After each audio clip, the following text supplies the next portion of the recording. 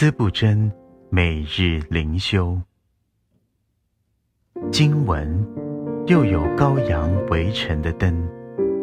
启示录二十一章二十三节。圣经里的光是喜乐的标志，而天国里信徒的喜乐在于耶稣的拣选，爱我们，用宝血洗净。保守我们，使我们得荣耀。我们今日能有的身份地位，是因着救主耶稣的功劳。光是美的来源，没有光，钻石失去耀眼光华，珍珠也显不出温润色泽。天上圣徒的美，是来自于耶稣。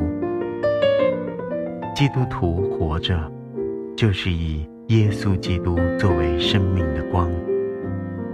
若他们远离上帝，生命就会干枯，流露不出耶稣基督馨香的气息。这光也是上帝的本体。我们在世上对上帝的认识还很模糊有限。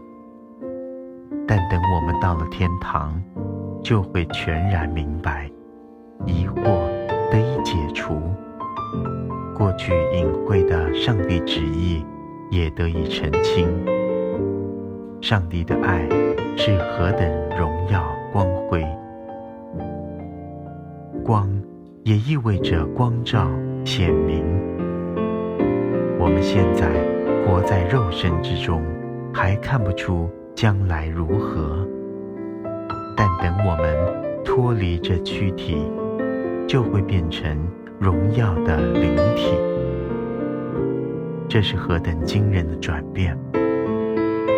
在世上，我们曾被罪恶污染，但经过耶稣妙手触摸，我们就明亮如灯，光洁如水晶。